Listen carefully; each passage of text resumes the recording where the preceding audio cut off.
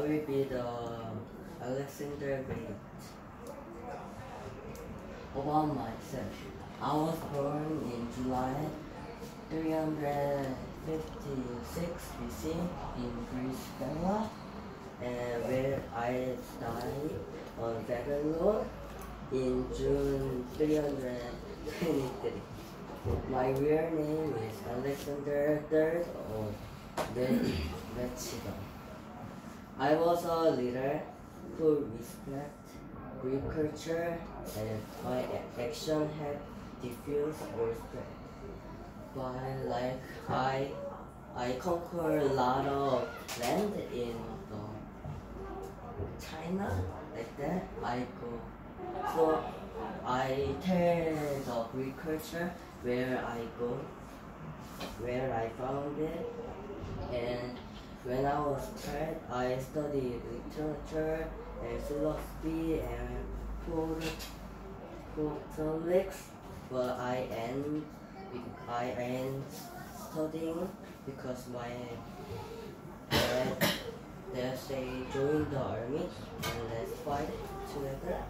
So I joined the army.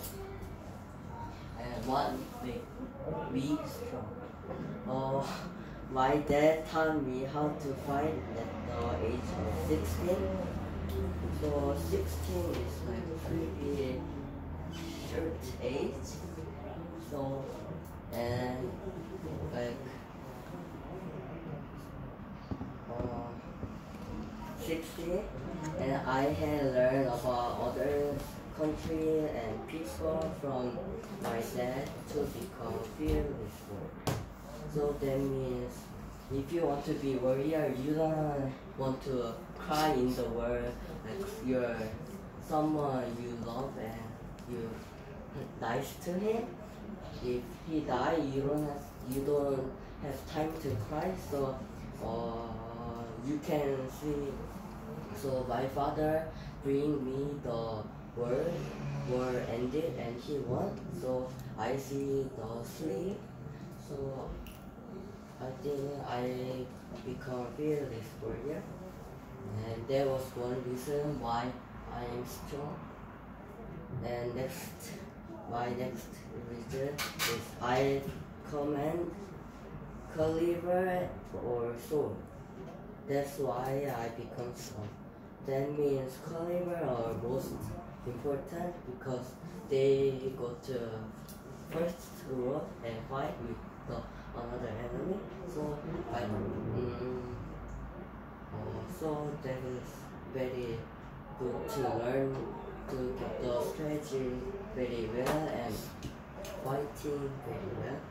So and so I think that was my dad's plan to uh, like hey uh, command the conqueror and a warrior then you can be a good warrior and in most important reason I become strong is my dad.